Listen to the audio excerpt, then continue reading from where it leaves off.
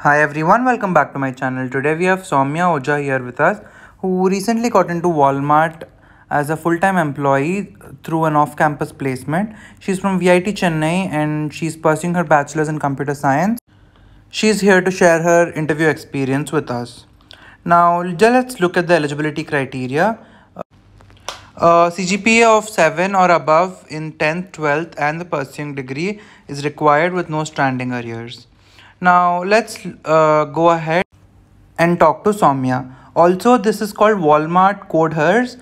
This is basically for uh, female students in third or fourth years of engineering. Hi Shaumaya, welcome back to my channel. Firstly, congratulations on your placement. Hi Jishnu, thanks a lot. Uh, so, would you like to introduce yourself again?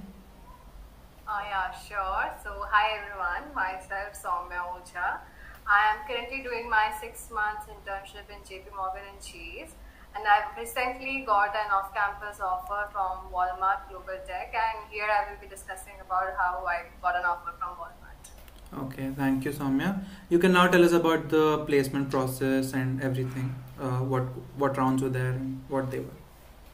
Yeah, yeah, sure. So speaking about the process, I would first like to tell that this process was entirely for girls and this was an all over India competition again. So I got to know about this competition last year also. Uh, it, it, it takes place on Dare to Compete. So you can register on Dare to Compete and you will be getting uh, information about all the competitions and hackathons which happen on Dare to Compete. So when this was uh, when this competition came, they gave me a mail that this has been uh, put up. So I registered for that uh, the same. This is known as Walmart CodeHers. You can Google it and you will find it. So last year also I applied for the same, and then also I went to the interview process, but I got rejected in the last round. And that was purely for the internship students who are basically in third year of their college, and they and they take actually they take uh, for two like for third years and for fourth year people. Okay. So both of them can apply. So last time I applied for third year, this time I applied for the fourth year. So this time this was a full-time opportunity. So the first round, now I will tell about the interview the procedures and all.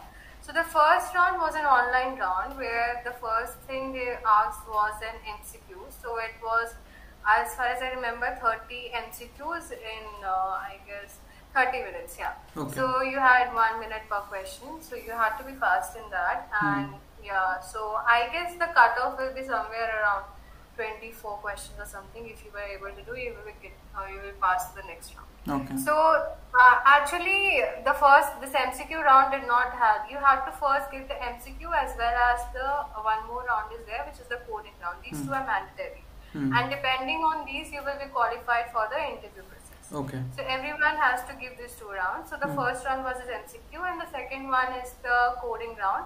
There you will be asked two coding questions and you have to solve that in okay. a span of I guess it was one hour I, I, I remember. Hmm. So these questions I will say that they were a little bit from medium to hard difficulty I will rate them. They were not easy at all. Hmm. So, but if you are able to do, I guess one question also, then you will be selected for the next round.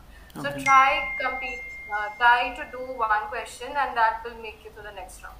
Okay. And so I did both the questions and MCQs. I don't remember what was my score, but I was qualified for the, the next round. Hmm. So now speaking about the interview process, uh, they take in total three interviews of which two are technical and one is the HR one. And all of these three interviews take place on the same day.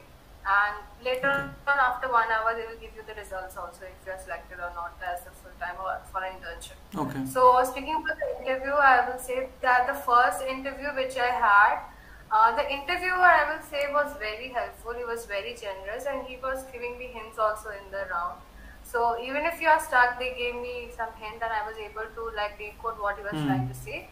That will be okay with you. I will tell you the question also. So in the first round, they asked me, it was not like exactly he asked me merge interval question, mm. but he gave me a scenario and then he asked me like what would be the for that. Mm. And I figured it out that we could solve it by doing the merge interval, which is a very famous question, everyone has heard about it. Mm. So that I uh, told him and then he like discussed me why would you use uh, this solution. Okay. If you can use some other data structure, something. And that was general discussion which took place. So you need to answer all those questions as well. Hmm. So this was the first question he asked, and he asked me to code it. And then he asked me that it, it's okay if the code is not proper. You can just write a pseudo code. He wants to basically know what's the logic. Hmm. He's not interested in knowing all the syntax and all, only the pseudocode. code. So I was able to write it, and then he asked me a second question.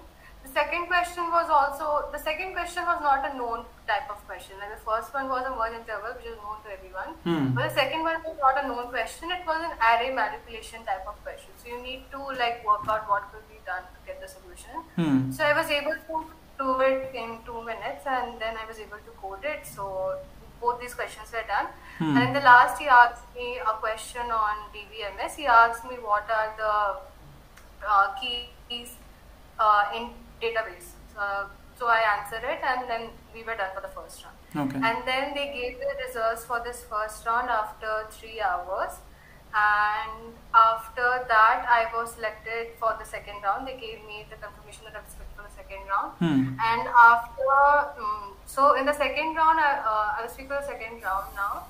The second round consisted of, uh, uh, there were two questions again in it. And the first question was a puzzle type of question. Hmm. So this question was a bit different. I would say I, I, I got confused in that, and I couldn't. I, I firstly I could not get to the solution of it. He asked me to like find the solution, so I told him a mathematical expression at first.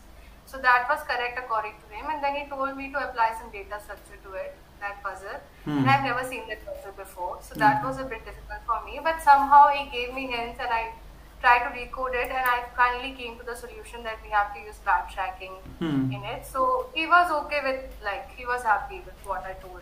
Okay. So I want just want to say that even puzzles can be asked in interviews, so you should be good with puzzles as well. Hmm. And the second question which he asked was a very simple question. Like he asked me to find the longest substring in the string which Okay. has unique characters. So that I had done before, so that was easy for me. So both the questions were uh, like he was okay with it. Hmm. And then after five minutes only, they gave me that I'm selected for the third round. Hmm. And so the third round was the HR interview round, but there also they did not like ask me very behavior questions as we expect in an HR interview. That was also a bit tricky, I will say, because he asked me questions on my project, and then he asked me questions like uh, the things which I have not implemented in my project. He asked me that how can these be optimized? Like I told him I implemented it in this way, but he Hmm. told me how it can be optimized. About your project, And- right?